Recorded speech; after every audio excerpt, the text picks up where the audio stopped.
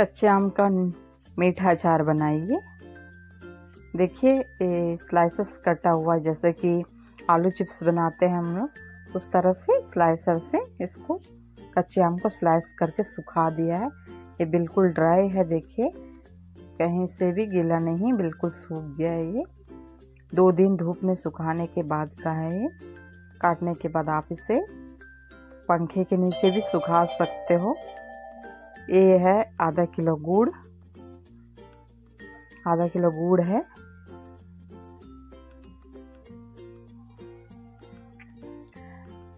पाँच से छः आम के लिए आधा किलो गुड़ काफ़ी है, आप इसका पाक ले लेते हैं।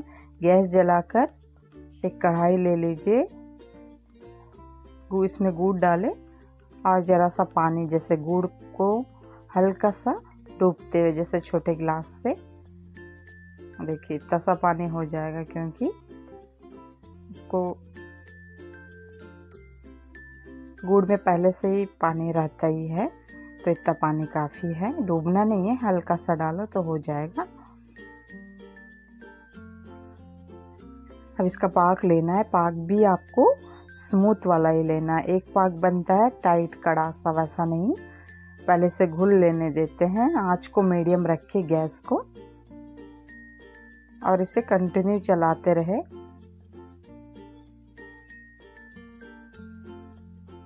देखिए, पूरा घुल गया है। अब उसे ऐसे ही चलाते रहेंगे और इसे चेक करते रहना है बीच बीच में कि ज़रा सा पानी ले एक बाउल में और इसे चेक करने के लिए ज़रा सा पाक को आप पानी में डालेंगे तो आपको इसमें पता चल जाएगा कि पाक बना है या नहीं।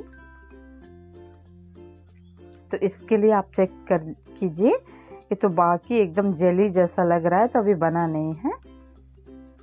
एक मिनट के बाद और देखते हैं, देखिए। इस पाक को एक इकट्ठा करना है पानी में जो हम लोग लिए हैं अभी। तो ये ज़रा सा स्मूथ सा बन जाए। मतलब ये थोड़ा सा जना टाइट बने, ना लूज देखिए। इस तरह से स्टिकी स्टिकी सा बना है ना।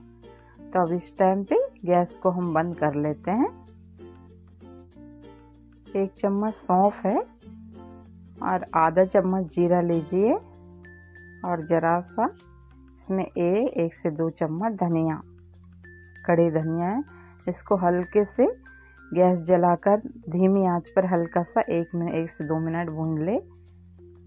धीमी आँच पर इसको हल्का ठंडा हो जाने के बाद इसको कूट लेना है। तो देखिए, कलर बदल गया। अब गैस को बंद कर देते हैं। करते हुए इसे ठंडा कर ले। करने के बाद इस तरह से आप कुछ इसमें डालकर कूट लीजिए या फिर आप एक से दो बार मिक्सी जार में भी चला सकते हो डाल के। इस तरह से कूटने के बाद देखिए, रेडी है। तो इसे हम गरम गरम पाक में ही डाल लेते हैं, क्योंकि ठंडा होने के बाद थोड़ा सा टाइट हो जाएगा पाक।